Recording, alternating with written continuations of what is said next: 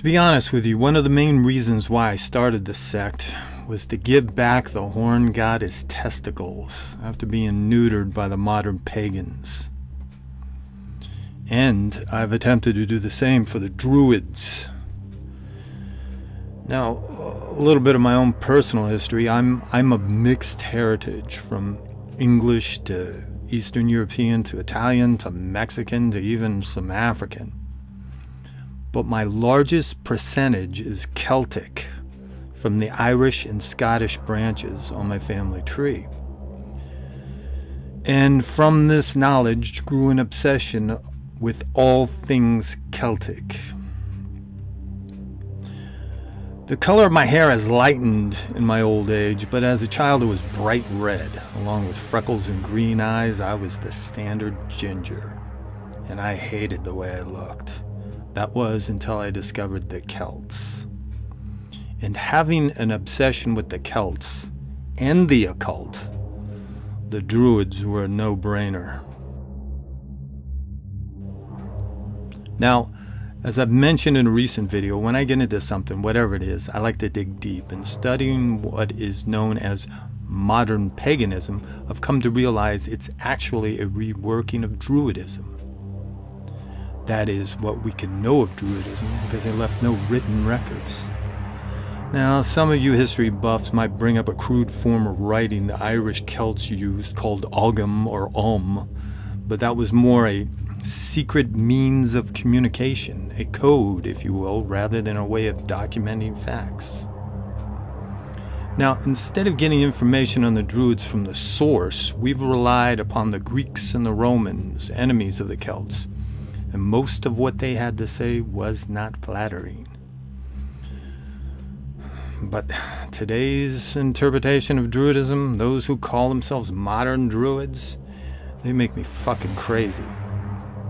Early on, I thought it might be interesting to join one of these modern Druidic groups, but how do you suspend your disbelief when you know it's all bullshit? Just a little digging and you realize they've whitewashed history by turning the Druids into jovial nature lovers.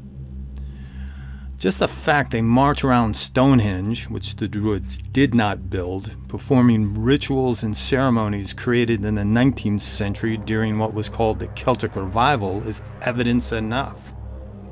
And in the past 50 years or so, it's become even more watered down when the hippies tossed in their pot induced two cents. But where do we go to find evidence as to who the Druids really were? First, let's start with what we do know. The Druids were the Celtic priests, philosophers, judges, and soothsayers who convened with the gods and divined the future. They were political advisors who had influence over the decision of kings and chieftains. They were extremely powerful in Celtic society, a society known for its beautiful art, mythology, and warrior culture, and rumors of human sacrifice. According to Caesar, the Druids believed that the gods delighted in the slaughter of prisoners and criminals, and when the supply of captives runs short, they sacrifice even the innocent. Other Roman scribes claim that the Druids choose a person for death and stab him or her in the chest above the diaphragm. By the convulsions of the victim's limbs and the spurting of blood, they foretell the future. Now, was this true or was this just anti Celtic propaganda? The truth is, these classical reports don't even begin to compare with the gruesome evidence archaeologists have unearthed. In southern France, a Celtic sanctuary from the 3rd century BCE yields concrete evidence of severed human heads used in rituals. In this Iron Age walled fort was a cultic shrine where real and sculpted human heads were exhibited. In Britain in the 1980s, the bog mummified body of a Druidic sacrifice, Lindow Man, came to light, killed about the time of the Roman invasions. Then came the discovery in the year 2000 of 150 human skeletons found in a cave in England. Evidence shows that the Druids may have killed their victims in a single event.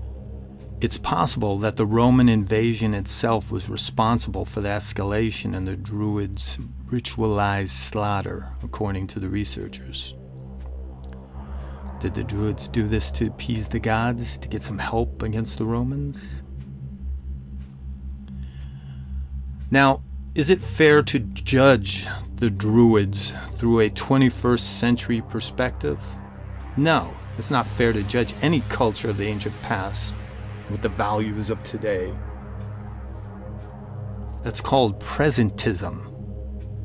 The Celts were a people of their time, and no matter what the modern Druids and pagans might think, it wasn't a peaceful age of happy moo clad folk in tune with nature, hugging trees and prancing with bunnies. It was a brutal age where people did what they needed to do to survive. And if that meant appeasing the gods with human sacrifice, then so be it.